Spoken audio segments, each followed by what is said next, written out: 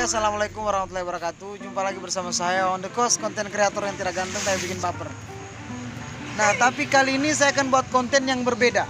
Mungkin teman-teman kemarin udah lihat eh, konten prank saya. Nah, ini dia orang yang di samping saya sekarang nih.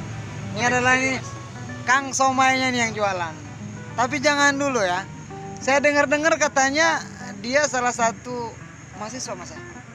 Kuliah? Masih kuliah? Hah? Tidak. Ngomong yang betul ini. Kegiatannya sehari-hari apa nih mas? Selain selain ini? Usaha kecil-kecilan. Dan usaha kecil-kecilan. Selain eh, jualan somai apa aja? ya buka warung Karena saya dengar-dengar katanya dia punya cabang mas ya?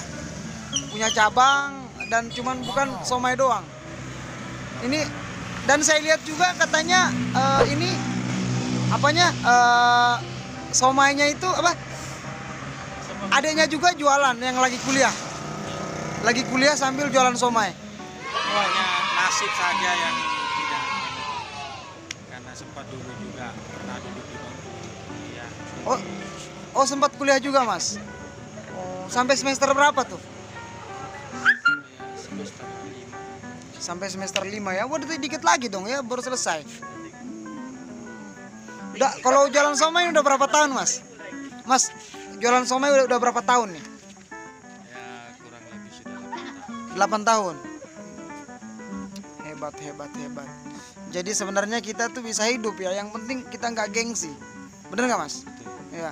Saya juga awalnya kayak gini mas. Saya dulu jualan eh, nasi goreng. Dulu saya jualan es teler. Macam-macam kerjaan saya lakoni dulu. Hingga sampai sekarang saya menjadi konten kreator. Siapa tahu nanti masnya juga mau jadi konten kreator kan? Bisa. Di dunia ini nggak ada yang tidak bisa. Selagi kita pandai eh, menilai diri kita, menilai eh, kesanggupan kita untuk eh, melakoni hal yang kita inginkan itu. Oke. Aduh, pegal juga tangan saya kayak gini ya. ini kalau biasa kan kayak gini mas. Biasa di sini yang selain masnya jualan siapa? ya Maksudnya eh, yang biasa yang jaga nih, yang jaga biasa anggota ya. Nah, jadi ini kecil-kecil usaha-usaha kecil-kecil gini, dia tuh udah jadi bos sebenarnya. Dia udah punya punya cabang, meskipun hanya somai, tapi kita nggak tahu omsetnya berapa nih.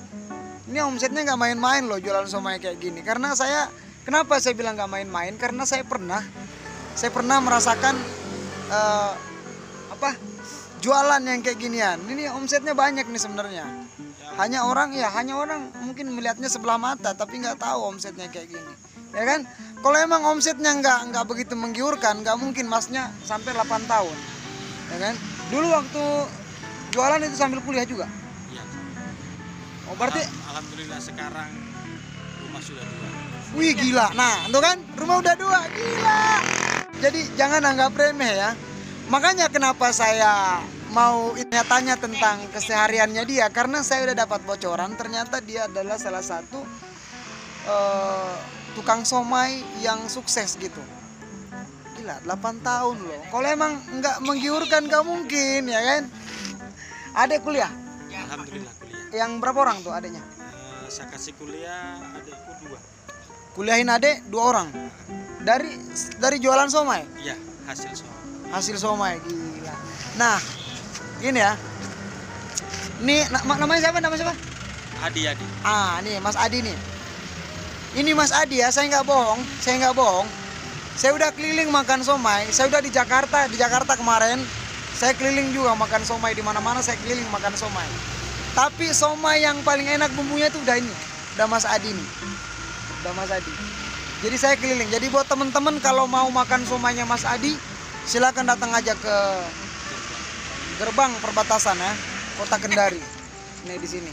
Ini ada Mas Adi nih dia nih yang jualan di sini sampai lampu merah ditutup sama dia. Jadi dari sini kita bisa dapat ah, pengalaman hidup ya bahwa selagi kita mau berjuang pasti Allah ngasih jalan. Bener nggak mas? Betul betul. Kan? Makanya kenapa saya eh, berniat untuk Q&A Mas Adi ini karena saya udah tahu saya dapat bocoran. Ternyata dengan usaha sekecil ini dia sampai udah punya rumah dua punya adik yang dikuliahin dua orang. Adiknya semester berapa mas? ya yang satu sudah semester 4 yang ini baru masuk masuk ke kuliah di IAIN Mau perlu masuk perguruan tinggi lagi ya? Oh, hebat. Berarti berarti masnya ini dikategorikan cuti dulu ya? dia cuti dulu Cuti dulu kuliahnya. Karena Oh, saya Ah, cuti dulu. Jadi masnya ini cuti dulu untuk eh, melanjutkan adik yang kuliah, iya memprioritaskan adik-adiknya untuk kuliah. kan saya di tulang punggung orang tua ya. Oh tulang punggung. Dari berapa bersaudara nih mas? Enam saudara Dari enam bersaudara. Wah gila. Jadi buat teman-teman lihat nih, mas mas mas Adi nih masih muda. Umurnya berapa sekarang? sekitar 27 27 tahun. ya boros di 27 tahun ya masih muda, masih muda. Eh, teman pokoknya saya doain Mas ya semoga somanya lancar, ya kan? Kenapa eh, saya berminat untuk Q&A sama Mas Adi ini karena kemarin dia udah dua kali kena prank sama saya, ya kan? Dua kali kan? betul betul Jadi prank yang kemarin tuh nggak ada settingan buat teman-teman. memang real Real ya, real ya. Dia nggak tahu kalau saya ternyata masang kamera. Ini kita baru balik nih, saya baru balik dari biasa. Saya kan juga selain konten kreator penjual online juga. Itulah cari uang, ya kan? Kita nggak perlu gengsi. Kalau di karena hidup di zaman sekarang ini kalau kita gengsi kita nggak dapat apa-apa. Bener nggak mas? Yang di belakang sana, bener nggak? Bener nggak mas? oke Ah oke. Jadi kita kalau gengsi nggak nggak dapat apa-apa kita. Sekarang kita harus berpacu dengan orang-orang di luar sana yang yang kreatif. Satu kata nih, satu kata nih dari Mas Adi. Satu kata dari Mas Adi eh, pesan-pesan untuk anak-anak muda Indonesia. Ya satu saja pesan saya bagi anak-anak Indonesia apa anak-anak muda di Indonesia ini khususnya di Sulawesi Tenggara satu buang gengsi jangan terlalu jangan banyak gengsi Mantap. karena gengsi itu bu- eh, bukan membuat kau bukan membuat dirimu eh, hidup lebih baik lagi bahkan membuat dirimu hidup lebih di bawah lagi karena Benar. ada karena apa ya eh, apa pokoknya dalam intinya jangan gengsi lah itu aja Jangan gengsi ya untuk hidup di di di zaman di zaman-zaman sekarang ini kalau nggak boleh gengsi ya. Oke, thank you. Keras Thank- kehidupan bro Keras kehidupan ya. Apalagi di Sulawesi kan. iya betul Lu pacaran lama-lama lu nggak nikah lu jadi tamu undangan. Oh, betul Oke? Oke, jadi buat teman-teman yang nonton eh, jangan lupa di like, share, and subscribe dan doakan juga semoga usahanya Mas Adi makin lancar. Oke, Amin. thank you bro ya. Oke, nanti kalau ada requestan dari teman-teman buat Q&A lagi sama Mas Adi, oke nanti kita ada sesi, sesi kedua ya, ada season kedua. Oke, thank you. Assalamualaikum warahmatullahi wabarakatuh.